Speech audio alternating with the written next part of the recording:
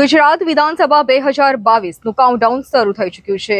આમ આદમી પાર્ટીની વાત કરીએ તો તેણે તમામ ઉમેદવારો જાહેર કરી દીધા છે. ભાજપે પણ પોતાની પ્રથમ યાદી આજ રોજ બહાર પાડી દીધી છે. ત્યારે વાત કરવામાં આવે કોંગ્રેસની તો કોંગ્રેસે ધીમી ગતિએ પરંતુ પોતાના ઉમેદવારો ધીરે ધીરે બહાર પાડી રહી છે. વાત કરવામાં આવે સુરત પશ્ચિમ વિધાનસભાની તો સુરત પશ્ચિમ વિધાનસભા કે જેમાં ભાજપ તરફી પૂર્ણેશ મોદી ઉમેદવાર તરીકે જાહેર થયા છે. તો તેમની સામે કોંગ્રેસના સંજય પટવા મેદાને ઉતર્યા છે. સંજયભાઈ સાથે આજે આપણે મુલાકાત કરશું અને જાણવાનો પ્રયત્ન કરશું કે આવનાર ઇલેક્શનમાં શું હશે કોંગ્રેસની રણનીતિ.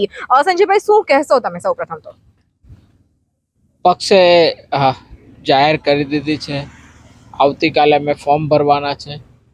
ખૂબ જ સારી રીતે આ ચુનાવી જંગમાં કોંગ્રેસ પાર્ટી અને ખૂબ જ લડાયક રીતે આ ચૂંટણી જંગ અમે લડીશું અને જીતીશું પણ.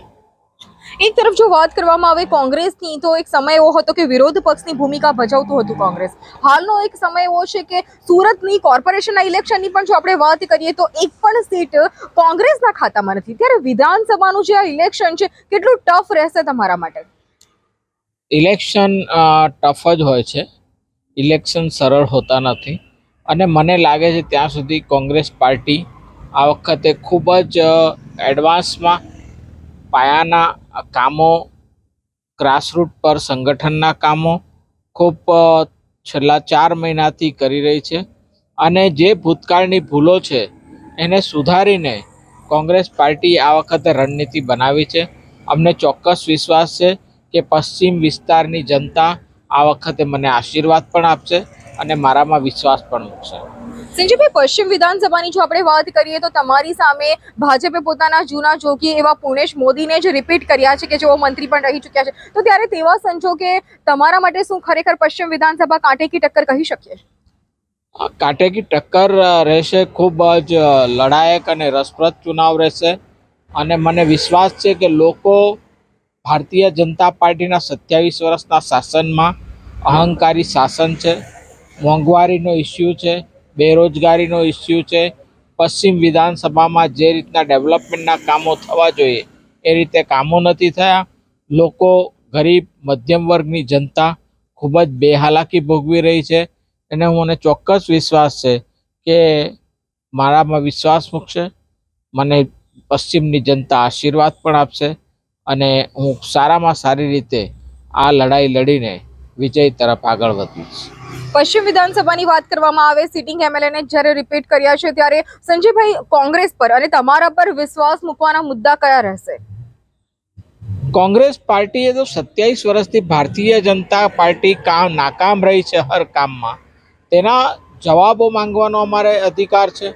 પ્રજા વતી અમે ભારતીય જનતા પાર્ટીની મોંઘવારી માટે ગેસના બોટલ હજાર રૂપિયા થઈ ગયો, એનો જવાબ માંગીશું. તેલનો ડબ્બો ત્રણ હજાર પાંત્રીસો રૂપિયા થઈ ગયો. એનો જવાબ માંગીશું. બેરોજગારીનો જવાબ માંગીશું. ભારતીય જનતા પાર્ટીને સત્યાવીસ વર્ષના શાસનમાં જે સોગવારી આપવાની વાત કરતી હતી, આજે બેફામ મહેંગાઈ લોકોને મારી રહી છે, એનો અમે જવાબ માંગીશું. સાથે કોંગ્રેસ પાર્ટી પોતાના આઠ વચનો જે રાહુલજીએ આપ્યા છે કે અમે પાંચસો રૂપિયામાં કેશનો બોટલ જે આપતા હતા, ફરીથી આપીશું.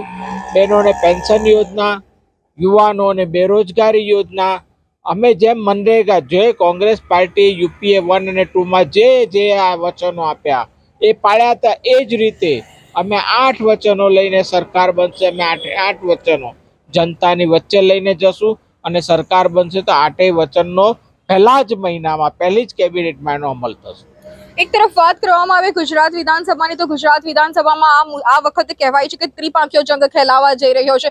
ભાજપ, કોંગ્રેસ અને આપ વચ્ચે. તો આપના જ સ્પેશિયલી સુરત પશ્ચિમ વિધાનસભાની વાત કરવામાં આવે, તો અહીં આપને લગતો માહોલ કેવો છે અને તે તમારી સામે કેવી ફાઇટ આપશે? આપ પાર્ટી ક્યાંય પિક્ચરમાં નથી, બેન. અને હું નથી પશ્ચિમમાં ક્યાંય મને કોઈ કાર્યાલય દેખાયો, કોઈ વ્યક્તિ દેખાયો હોય બીજા વિસ્તારમાંથી લાવીને અહીંયા ચૂંટણી લડાવે.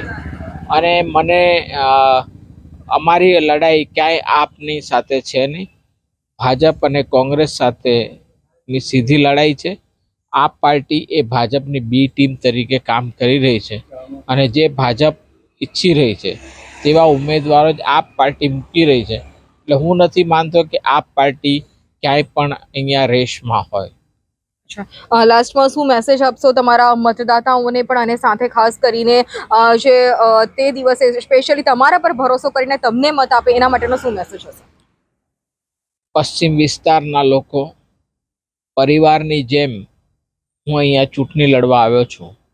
મને વિશ્વાસ છે, પશ્ચિમની જનતા મને વિશ્વાસ પણ આપશે, પ્રેમ પણ આપશે અને આશીર્વાદ પણ આપશે. હું આજે એક નેતા તરીકે નહીં, પણ દીકરા તરીકે, એક ભાઈ તરીકે પશ્ચિમ પરિવારમાં આવ્યો છું અને મને ચોક્કસ વિશ્વાસ છે કે પશ્ચિમની જનતા મારામાં વિશ્વાસ, અતૂટ વિશ્વાસ મૂકશે દર્શક મિત્રો, હાલમાં આપણી સાથે કોંગ્રેસના જે ઉમેદવાર છે, પશ્ચિમ વિધાનસભાના સંજય પટવા આપણી સાથે જોડાયા હતા કે જેમના મતે ખરેખર પશ્ચિમ વિધાનસભામાં કાંટે કી ટક્કર કહી શકાય, પરંતુ ક્યાંય પણ આપ મેદાનમાં નથી. તેમની ટક્કર થશે તો ચોક્કસ ફક્ત અને ફક્ત ભાજપ સાથે જ થશે. તો હવે પશ્ચિમ વિધાનસભાના રાજકીય સમીકરણો આગામી દિવસોમાં કેવા રચાય છે તો આવનારો સમય જ બતાવશે. કેમેરામેન જિજ્ઞેશ પંડ્યા સાથે મોનિકા પરમાર એસ ન્યૂઝ સુરત.